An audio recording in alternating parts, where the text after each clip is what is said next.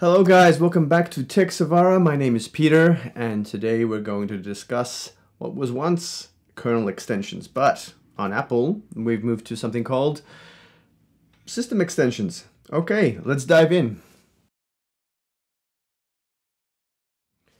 Alright, so what are kernel extensions? Kernel extensions are extensions to the kernel. Well, they're basically uh, a way for you to get access to the systems that the kernel runs on, right? So if you know anything about operating systems, you'll understand that the kernel is what basically allows you access to things like that low-level file system interrupts, uh, graphics, uh, the connected devices, all those kind of things that make the computer run.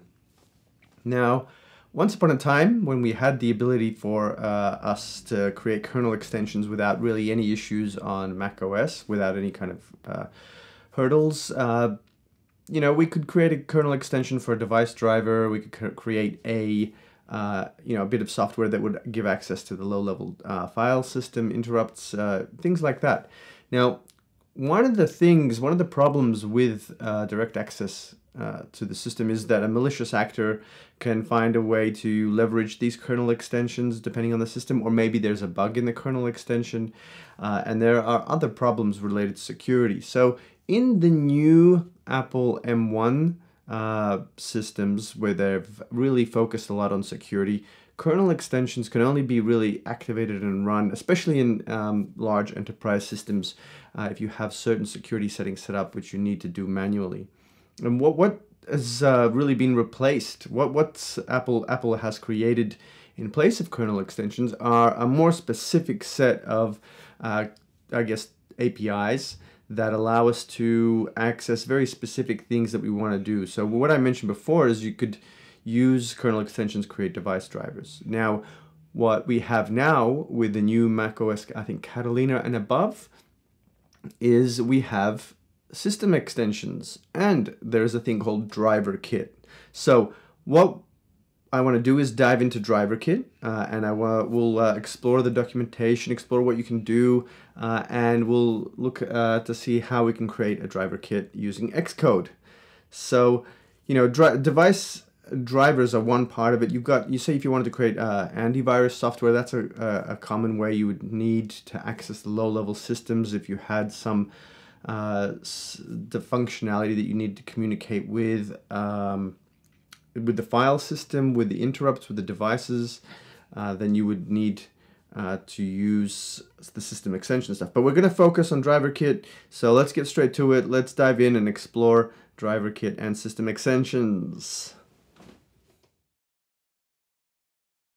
Okay, here we are, and uh, we are going to dive in an Explorer driver kit. I've opened up the a few a few resources here. We have uh, the driver kit uh, documentation directly, and from here we can kind of look at which particular frameworks there are. Uh, specifically, uh, driver kit um, is quite low level. It's C++ only, uh, and that's fine. We can we can have a look. I mean, there's also USB driver kit.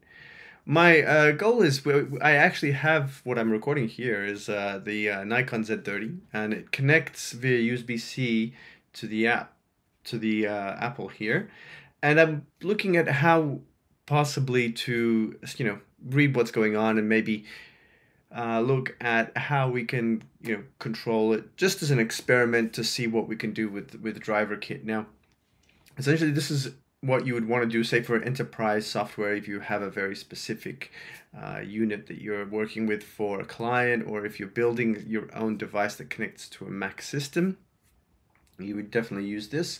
Or if you're using like if you're building like a general device then uh, you would also use this. So uh, the, another really good resource and a great starting point is this uh, system extensions and driver kit video. It's in the um, you know WWDC videos from 2019, and it is system extensions and driver kit. Uh, USB driver kit uh, framework to develop custom or non-class compliant USB devices for use with macOS. The objects in this framework serve as providers for your driver. Use them as is to access the device configuration.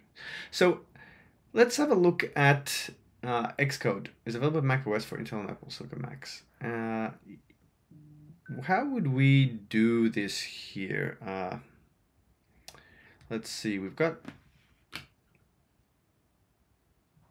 we've got a we've got Xcode here. We'll open up a uh, we've got driver kit, and I don't think there's any other. Uh, there is there is IO kit driver, but there isn't anything else. We've got uh, other here, which doesn't uh, really uh, allow us to explore uh, driver kit or USB driver kit in this case.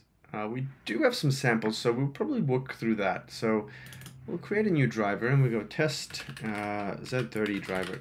Uh, with regards to debugging, it looks like you actually have to create an app or a piece of software and then inject the driver into your app. So I don't know how far we'll get with uh, creating uh, the driver and testing it, but here we go, test Z30 driver. Now, let's uh, move this over here a little bit while we explore the documentation again. So in this case, we have a USB driver kit, uh, essentials, uh, driver kit sample code, and we have these providers. So use USB device descriptors. So in the documentation, we also have uh, you know walkthrough here. You know, implementing driver system ex extensions or kexts. Well, they're dexts now because we're using driver kit. Implement low-level services using system extensions. Yep, that's what we want to do. And we want to communicate with custom hardware. So in this case, we, we have the Z30. We probably won't be able to figure out what the data says. We'll, I'm just trying to see if I can actually connect to it and read it. So uh, when the user attaches a new device, hardware device, the kernel searches for any Dext that handle the device. Okay, so I guess we'll try and have to figure out how to connect to it. Um, that may not even be possible. So Apple provides drivers for all standard-based hardware protocols that Mac computers support. Create custom drivers only for protocols and features unique to your hardware. You can also use a codeless Dext to map your hardware to one of Apple's built-in drivers. Mm, all right, so uh, let's have a look. We've got a we've got creating. So you got this other page here, which is creating the actual uh, driver, and I also have uh, another window open here, which is debugging, uh, and we'll, we'll run through that and have a look. Uh, but I guess in this case, we do have some sample code. So let's jump into the sample code and see what we can find here. Uh, functions. Where was it? Oh, here we go. Driver kit sample code. Driver kit SDK provides a stable. Yep, we know that. Uh, essentials communicating between a driver extension and a client app. So there's not really much here connecting to a network driver. We're, we're not using that. Uh, driver kit sample app, a Swift UI app. Oh, interesting. So we, there, there is uh, some sample app code that we can just pull out. Uh, maybe we can do this and the null driver, the Dext itself. So there seems to be multiple targets here, right? So you would have a project, an Xcode project, uh, and create the app and create the driver. To run the sample project, first you need to build and run driver kit sample app. So where is this? Ah, oh, we can download it. There we go.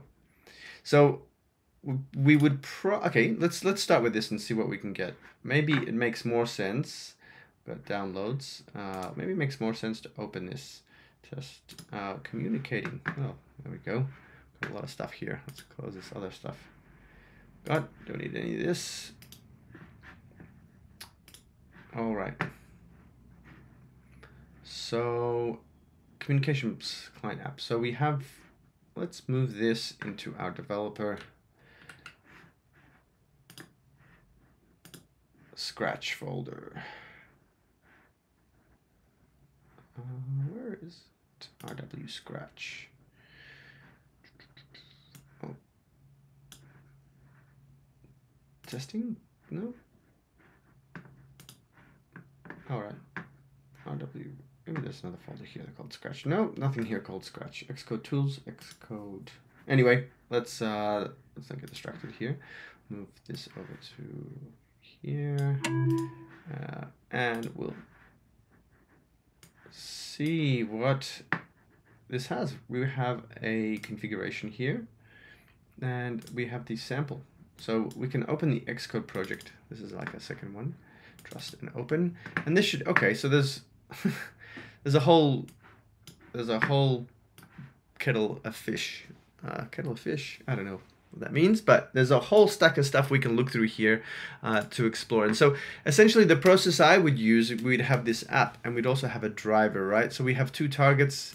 We would create a, an app target and a driver target. So you can see here we have our test driver target. So we would then, you know, do the same thing. What, um, what kind of app is this? Uh, this would be a general Mac OS. All right, so we would have a sample app. Uh, we would create a new new project in here. Uh, no, create a template file. We'd probably add uh, add package dependencies. Uh, no, we want a new project. New project here. No, we don't, we don't want to add this here. We want to add, we've got the driver. We want a new target, new scheme. Okay. New target. We want a target, there we go. So multi-platform, we have an app we want to add, and we'll make it the test Z30 app. And so this process uh, will will be the same thing, you know. So we've got the test driver, we have the test app. Uh, the project is, you know, I should have done it the other way. I should have gone and created the app first and then done the driver, and we can. Uh, well, that's fine. I mean, it doesn't really make much difference. The project is the Xcode project contains both and has two different targets. So that's what we that's what we want to uh, actually do, and we'll we will uh, do it for my Mac, and we will only support the Mac, uh, not iPad, just for the sake of simplicity. All right, so what? Let's go have a look in through the uh, driver sample code. So we have the sample project that we'll go through. So we we have to turn off SIP, uh, so utilities system extension control. Uh, it sounds like there's a kind of lot of configuration steps. Uh, okay, install and run the driver extension macOS. To run the sample app in macOS, use the scheme selector. Yeah, that's pretty straightforward. We just select the scheme. To install the Dext on macOS, the app uses system extensions framework to install and activate Dext, as described in installing system extensions and drivers. Okay, so there's a section here on how we would do it. So we would install it this way. Activate and use. Okay, so this would be installing an system extensions, and then we would, I guess, debug it. So this. Okay, so we do have a great uh, structure to work with, uh, and we, the here here's um, Mac OS. Uh, we would need to do a lot of these configuration steps. To run the sample code project, you first need to build and run the DriverKit sample app, which installs the driver. You can set up the project to build with automatic signing, recommended or manual signing. To use automatic signing, mm -hmm. so I wonder if we can just signing and capabilities. Example, we would need to provision. Okay, automatically manage signing. Let's see what happens. Wait, yep. Okay, let's choose our team. Okay. I'm just gonna sample app. No signing certificate.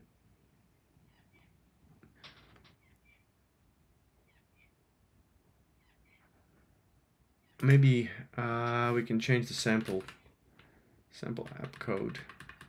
Interesting, because it's a sample. Maybe we change the bundle identifier to be something specific. So maybe this isn't available. Interesting. Okay, so in order to do this, temporarily turn off SIP, disabling enabling system integrity protection. So what does this say here? We currently don't have access to this membership resource. To resolve this issue, agree to the latest pro. Okay, so we won't go into too much about setting this up, and let's go straight into the driver itself. Uh, Swift async callback. I say so. The driver communications view model and view. The great thing is this is actually Swift UI. This is great. I mean, I'm I'm I'd be interested in actually explore, exploring this a lot more. I mean, there's a lot of opportunity here to create uh, direct products, and uh, you know, that communicate with a Mac uh, using drivers instead of uh, building you know specific uh, transport protocol or using existing transport protocols. Uh, let's have a look at the driver. So this one doesn't do anything. Uh, okay, the driver, uh, we have the standard setup, initialization, start and stopping of the driver given the IO service provider, uh, and free. So we also have the driver code for initialization. Uh, here we initialize the driver with its uh, data. So we allocate, essentially we have to allocate memory for, for our driver here. Uh, once we do the start, we can, we've got logging. It's great that logging is available. Uh, and then stop. I mean, the first thing that I would want to do is figure out how to detect what specific device is connected and how to read USB data from that. So I think looking into this documentation, if you want to build with manual sign, do the following. Okay, so it's really only this we need to do. But we also need to accept the terms and conditions, which I'm not going to go into, so we're not going to dive too far into this. Uh, I think the main thing is, is we found a great sample app to work from. We found the video that we have, uh, which we can reference, and we can then use each of these pieces to kind of dra drag and drop and, and mix and match what we want to do in our own driver. So, uh, guys, thanks for uh, listening. This quick introduction, exploring where we can go from uh, with the driver kit. I would be really excited to spend some time uh, delving into this and, and building and figuring out how to connect to this camera. Uh, I think it would be pretty interesting to see what we can do in terms of, you know, if with the phone, we have certain functionality that we can use to con- communicate with uh, the camera here. And I think, you know, there's probably software out there that does it to use the phone as a monitor or something similar, uh, or iPad. Uh, and it's pretty exciting. Uh, I would love to continue doing this, uh, diving in. Um, we're going to uh, wrap this up for now, and we're going to look and explore something different next week. Uh, I think, you know, we've done the driver stuff to look at how that, you know, how where we can go and we can explore. Uh, I think next week, I'll still stick with iOS, and I think we can have a look. Let's say, let's go into Metal. Metal is a good one. Uh, it's you know 3D rendering, hardware acceleration, video games for Mac. Uh, I think with Microsoft and Activision Blizzard being one company and Apple going into the gaming space, it's um, an interesting time for games, an interesting time for uh, you know custom game engines, rendering engines, but I think there's something to Apple's Metal Kit that is more than just for games. So let's have a quick exploration of that next week. Thanks for uh, exploring uh, system extensions and driver kit. No longer kernel extensions. We don't really use them anymore. And I'll see you at the next video. Bye.